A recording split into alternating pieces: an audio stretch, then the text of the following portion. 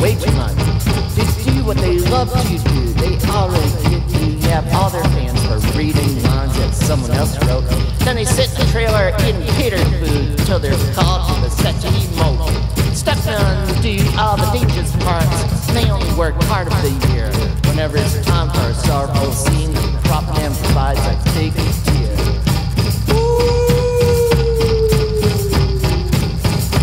Why should that kid come home more for a six-week gig than a trucker in a lifetime of driving a lonely and dangerous rig?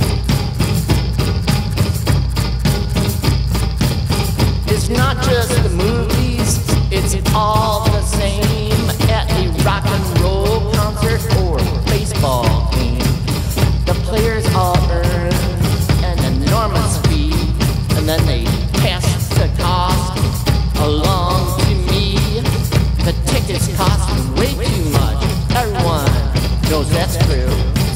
because they're paid too much to do what they love to do.